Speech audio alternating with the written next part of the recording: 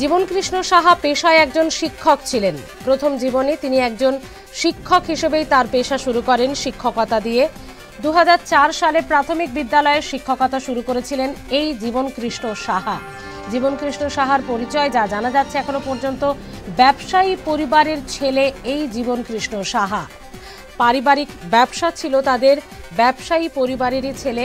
সাঁইথিয়ায় বাবা বিশ্বনাথ সাহার তেল মিল এবং আলুর স্টোরেজ ছিল এই জীবনকৃষ্ণ সাহার। এবং বড়োয়ার রেশনের দোকানে ডিস্ট্রিবিউটর জীবনকৃষ্ণের বাবার নামেই ছিল। অর্থাৎ পারিবারিক ব্যবসা, সেই ব্যবসায় পুত্র হচ্ছেন জীবনকৃষ্ণ এবং পৈতৃক ব্যবসা দেখাশোনা করতেন জীবনকৃষ্ণ। শিক্ষকতার সঙ্গে সঙ্গে পারিবারিক যে ব্যবসা, তাতেও তিনি ইনভলভ হয়েছিলেন। দু হাজার প্রাথমিক শিক্ষকতা ছাড়েন জীবন কৃষ্ণ দু হাজার তেরো সালে প্রাথমিকে যে শিক্ষকতা করতেন তা ছেড়ে দেন। তারপর বীরভূমের নানুরের দেবগ্রাম হাই স্কুলের শিক্ষকতা শুরু করেন। প্রাথমিকেই শিক্ষক হিসেবে প্রথমে জয়েন করেছিলেন, তারপর হাই স্কুল এবং দু হাজার একুশে ট্রান্সফার নিয়ে কুণ্ডল হাই স্কুলে যোগদান জীবনকৃষ্ণ সাহার।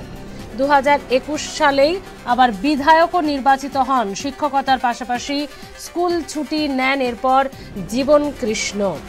দু হাজার তেরো সালে রঘুনাথনগরের বাসিন্দা টগর সাহার সঙ্গে জীবন কৃষ্ণের বিবাহ হয় এবং দু হাজার টেটে প্রাথমিক চাকরি পান টগর। প্রাথমিকে চাকরি পেয়েছেন তার স্ত্রী এবং বাড়ির কাছে একশো মিটারের মধ্যেই আন্দি প্রাথমিক বিদ্যালয়ে শিক্ষকতা শুরু করেন জীবন পত্নী। প্রাথমিক শিক্ষক হিসেবে যোগদান শ্যালক নিতাই সাহারও। প্রাথমিকে শিক্ষক হিসেবে যোগদান করেন এরপর শ্যালক জীবন কৃষ্ণের শ্যালক এবং জীবনকৃষ্ণ সাহা পেশায় একজন শিক্ষক ছিলেন। শুরুতে একজন শিক্ষক হিসেবে তার কর্মজীবন শুরু করেছিলেন এবং তারপর দু হাজার তেরো সালে তার এই তিনি রাজনীতিতে আসেন এবং তারপর বিধায়ক হিসেবে দু হাজার নির্বাচিত হন।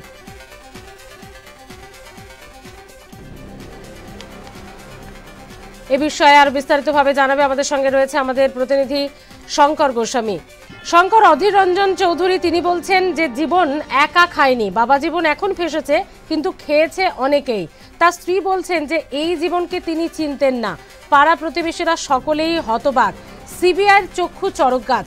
সত্যি কি তার জীবনশৈলী, জীবন ধারণ, তার লাইফস্টাইল তার এলাকায় যে পরিচিতি, তাতে তাতে ঘুণাক্ষরেও কেউ কিছুই বুঝতে পারেননি? কি বলছেন সকলে? দেখো, বুঝতে না পারারই কারণ তিনি প্রথমত এখানে ছিলেন একজন প্রাইমারি শিক্ষক হিসেবে, পরবর্তীতে তিনি রাজনীতিতে যোগদান করেন এবং দু হাজার একুশ সালে তিনি বিধায়ক হন এবং যেহেতু এখনও পর্যন্ত যেটা সিবিআই সূত্রে খবর পাওয়া যাচ্ছে এবং সিবিআই এর কাছে যে তথ্য উঠে এসেছে তার বাড়িতে তল্লাশি চালানোর পরেই সমস্ত তথ্য সিবিআই এর হাতে পৌঁছে গিয়েছে ইতিমধ্যেই।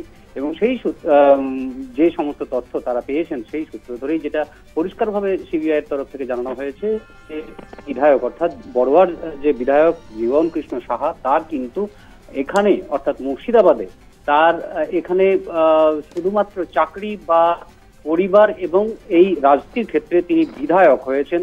শুধুমাত্র এইটুকুই রয়েছে মুর্শিদাবাদে বাদ বাকি কিন্তু প্রতিপত্তি যা কিছু রয়েছে তার সবটাই কিন্তু বীরভূমে এমনটাই পরিষ্কারভাবে এখনও পর্যন্ত জানানো হয়েছে সিবিআই আধিকারিকদের তরফ থেকে এবং তার যে সমস্ত সম্পত্তির খোঁজ পাওয়া গিয়েছে সেই জায়গা থেকে পরিষ্কারভাবে অনুমান করা যাচ্ছে যে অবশ্যই তিনি দুর্নীতির সাথে জড়িত। না হলে এত সমস্ত আহ, যে সম্পত্তি অর্থাৎ চারটি বাড়ি ফ্ল্যাট এবং ব্যাংক বা একাধিক মিল রয়েছে তার এই সমস্ত টাকা তিনি পেলেন কোথায়?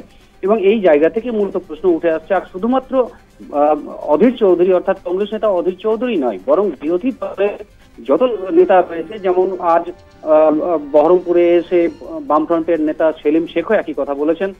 বিগত দিনে বিজেপি দলের তরফ থেকেও একই কথা বলা হয়েছে যে এইরকম ভুরি ভুরি ভুরি ভুরি এইরকম ধরনের আহ, তৃণমূলের নেতা মন্ত্রী থেকে শুরু করে আহ, বিধায়ক সাংসদ প্রত্যেকেই কিন্তু এই দুর্নীতির সাথে যুক্ত রয়েছেন এমনটা কিন্তু অভিযোগ ইতিমধ্যে উঠে এসেছে এবং আজ সকালে যখন বিধায়ককে গ্রেপ্তার করে নিয়ে যাওয়া হয় সিবিআই আধিকারিকরা যখন তাকে গ্রেপ্তার করে নিয়ে যায় তখন অফ দ্য রেকর্ড সিবিআই আধিকারিকরা কিন্তু একটা তাচ্ছিল্যের ভাবে একটা কথা তারা আহ, আভাস দিয়ে গিয়েছেন যে আজ প্রথম দফায় আহ, এই বিধায়ককে গ্রেপ্তার করা হলেও এরপরে তো মুর্শিদাবাদ থেকে নাম উঠে এসেছে যথারীতি ইতিমধ্যেই সেই নাম তদন্তকারী দলের হাতে পৌঁছে গিয়েছে। মুর্শিদাবাদের এইরকম ধরনের আরও চারজন বিধায়ক রয়েছেন যদিও তাদের নাম এখন পর্যন্ত পরিষ্কারভাবে জানানো হয়নি। কিন্তু এখনও যে চারজন বিধায়ক মুর্শিদাবাদের এই কাণ্ডের সাথে জড়িত রয়েছে এটা কিন্তু আহ, পরিষ্কারভাবে জানানো হয়েছে এবং পাশাপাশি একজন জেলা পরিষদের কর্মাধ্যক্ষও রয়েছে। এমনটা কিন্তু সিবিআই আধিকারিকদের তরফ থেকে ইতিমধ্যেই জানানো হয়েছে। ধন্যবাদ শঙ্কর।